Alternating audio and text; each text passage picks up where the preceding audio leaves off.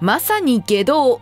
高孫さんは人質を取り籠城したことがあった？公敵手ライバルとも読みます。ライバルとは互いに切磋琢磨するものですが時には自分が勝つために非常な手段を使い蹴落とすこともあります。高孫さんもその一人です。彼は自分のライバルである竜宮を倒すために人質を取り籠城したのです。今回は高孫さんと竜宮の争いについて解説します。漢王朝の末裔竜宮。竜宮は五冠の初代皇帝皇武帝の子である劉強の末裔です。劉備や劉氷が自称漢王朝の末裔であるのに対して劉宮は正当性のある人物でした。余談ですが駅中の長官である劉園劉将不死も正当性のある漢王朝の末裔です。中平4年187年に両州のチベット族が関水馬頭扁将に率いられて反乱を起こします。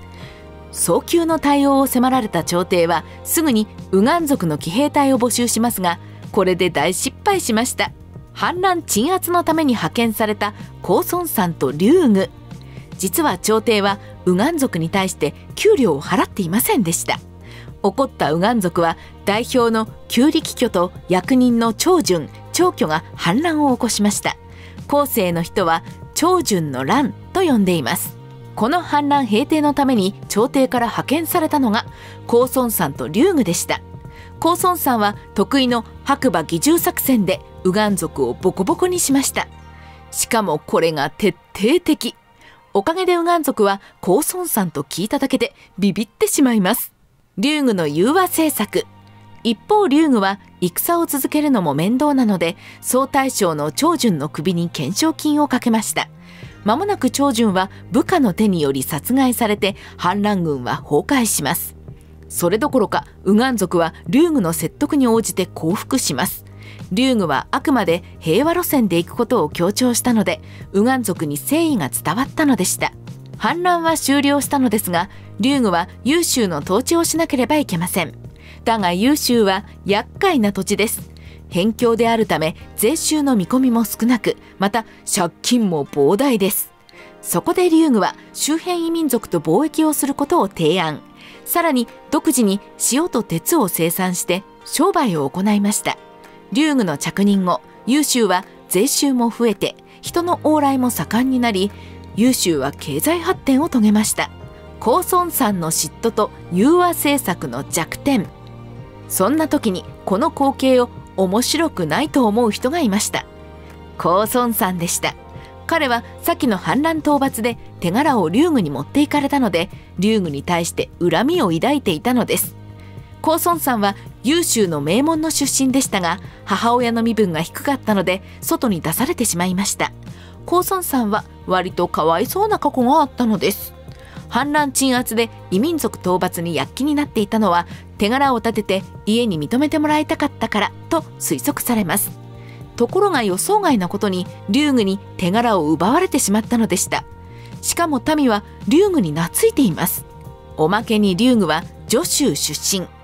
地元出身でもないのに手柄人望を全て奪われたので高孫さんの嫉妬は莫大だったでしょう。ただし高孫さんも龍宮の政策の弱点には気づいていました。龍宮のように新しい事業を始めると他所から多くの商人の出入りが激しくなります。当然それは以前から利益を独占していた商人の利益を侵害することになるのです。龍宮擁立計画。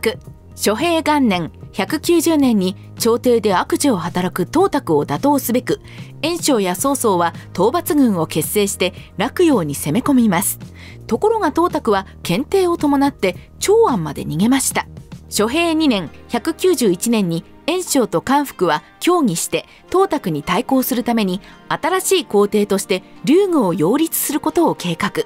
だがこれには袁術と曹操が反対。また龍宮本人も拒否します。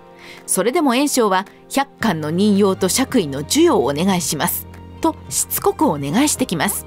これを承諾すると皇帝と同じです。龍宮はしつこいと断固拒否。結局龍宮擁立計画は頓挫しました。高孫さんと袁紹の争い。龍宮擁立に失敗した袁紹はその後官服から紀州を脅迫して脅し取り紀州の長官となります。一方円術と孫権も南陽で挙兵して慶州の長官である劉氷と争い始めました。この時期の天下は円章と円術が争う時代であり諸侯も2人のうちのどちらかについていました。円章には曹操劉氷劉具などがつき円術には孫権高孫山刀剣などがついていました。諸平3年192年に黄金族の残党を撃退した高孫山はそのまま紀州に侵攻後世海峡の戦いと呼ばれています。高孫山は得意の白馬義銃を駆使しますが炎将軍は石弓で応戦して馬のスピードを封殺。ここに高孫さんは敗北。この時点で彼は天下統一の争いから脱落していたのです。高孫さんの人質作戦。敗北した高孫山を追い詰めるべく諸平4年193年に龍具は出陣。以前から高孫山の軍は民に対する乱暴狼藉が多くまた龍具が異民族統治のために貯めた軍資金や兵糧を高孫山は勝手に使い込んでいたのです。龍具は長年我慢しましたが限界に達したのでした。だが部下の中に高孫山の親族がおり龍具の出陣を高孫山に密告。龍具は戦慣れしておらず準備に戸惑っている間に高孫山は民を盾に籠城します。高孫山の籠城壁はこの時からあったようです。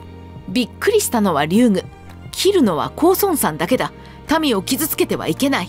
と戦とは思えない指示を出します。そうしている間に出撃してきた高孫山軍が火攻めの刑にかかり龍具軍は敗北。龍具は捕獲されました。龍具の最後と剥がされた聖人君子の仮面。捕獲された龍具は高孫山の前に突き出されています。勝てば官軍負ければ賊軍です。高孫山は意地悪な質問を龍具に浴びせました。皇帝に選ばれるくらいだからあんたは特別な人物のはず。雨ぐらい降らしてもらおうかな。当然そんな特殊能力は龍具にはありません。結局龍具は民を惑わしたという罪で斬首されました。死後に高孫さんは龍具の屋敷を家宅捜索して驚愕の事実が発覚。龍具は日頃から質素な暮らしをしており聖人君子のように言われていましたが屋敷の中には金銀財宝妻や愛称は豪勢な着物で着飾っていたのでした。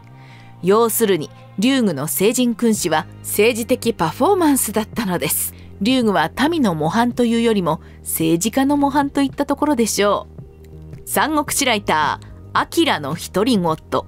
竜具の死後高孫さんが優秀の統治を行いますが高孫さんは実力のある地元の商人や子役人などを多く用いて世襲制の役人に対しては冷たく扱います。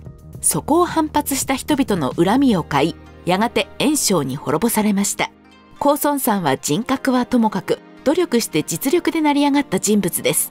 実力もない世襲の2世3世が大嫌いでした。人材起用の点では曹操に似ています。惜しいのは君主としての器に少し欠けていたというところでしょうか。